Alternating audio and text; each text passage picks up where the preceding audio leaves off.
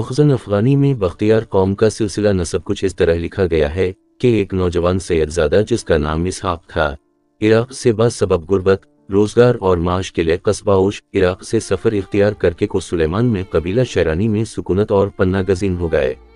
अपने नए चलन और खलूस की वजह से शरानी कबीला में शेखी या शजनी नामी औरत से शादी करके उसको नकाह में लाई, जिससे अल्लाह ने उन्हें एक बेटा अता किया और उसका नाम अब्बू सईद रखा।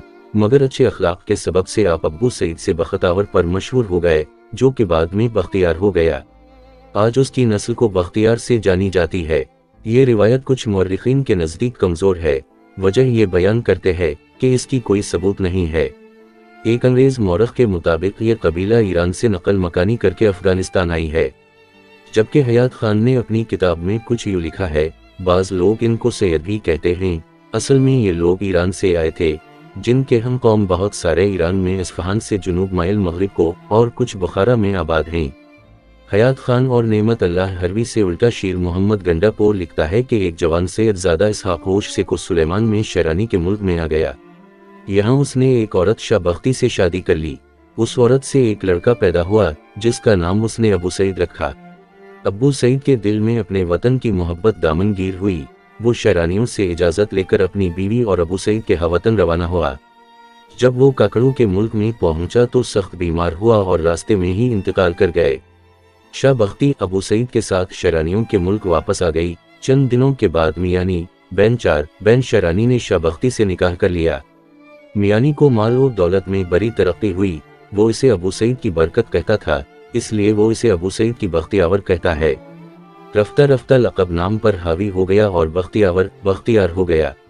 बख्तियार कौम उसी नस्बत से मशहूर हुई।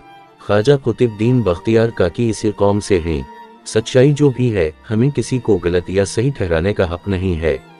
बख्तियार कबीला इलाका मरगा और दराबीन में आबाद हैं। हयात खान ने अपनी किताब में इस कबीले की मरगा में कुल पाँच सौ घर, जबकि दराबीन में तकरीबन आठ सौ घर लिखे हैं।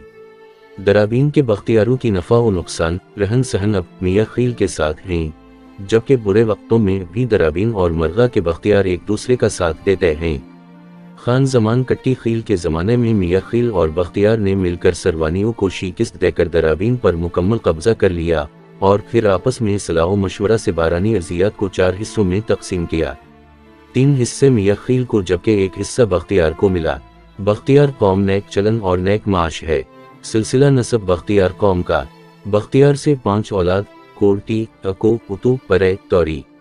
पुतु से सैयद मोहम्मद। सैयद मोहम्मद से ख्वाजा इलियास, ख्वाजा यखिया कबीर। कबीर के औलाद को शेख जई कहते हैं। इसके अलावा नज़र जई, मापुरी, मरहची भी बख्तियार कौम से ताल्लुक रखती है। हयात खान ने माजरत के साथ अपनी किताब में लिखा है कि यह शजरा नसब कामिल नहीं है। मगर हमने वक्त की कमी के सबब से बख्तियार और काकड़ कबीले के बुज़ुर्ग और होशियार लोगों से ज़रूरी हद तक नसबनामा हासिल न कर सका।